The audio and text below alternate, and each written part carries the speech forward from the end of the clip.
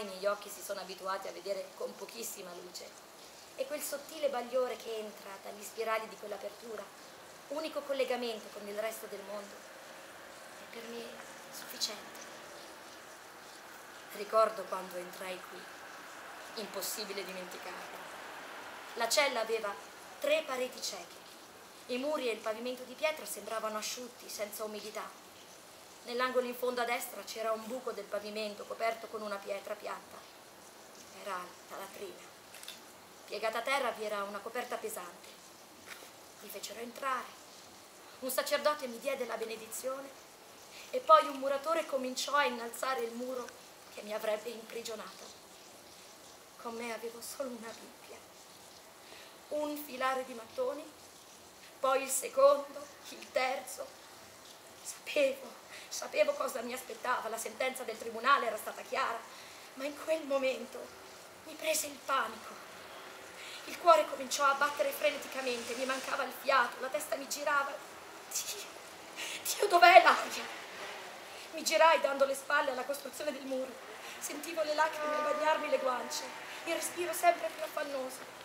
Chiusi gli occhi, chiusi gli occhi e cominciai a pregare.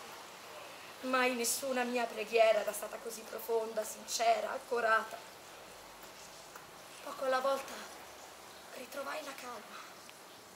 In quel momento capii e scoprì che la preghiera poteva diventare un luogo dove, dove c'era libertà, dove lo spirito si innalza superando le costrizioni della carne.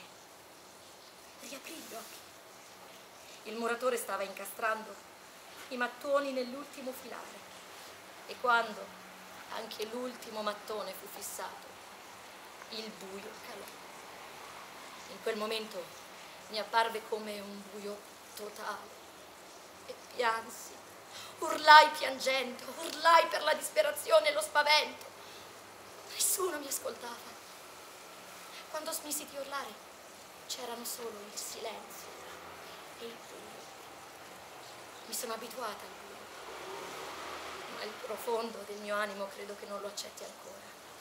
Capita di rado, ma, ma a volte mi sveglio nella notte, l'oscurità è assoluta, il cuore batte all'impazzata e penso di essere cieca. Una paura profonda mi attanaglia la gola e affannosa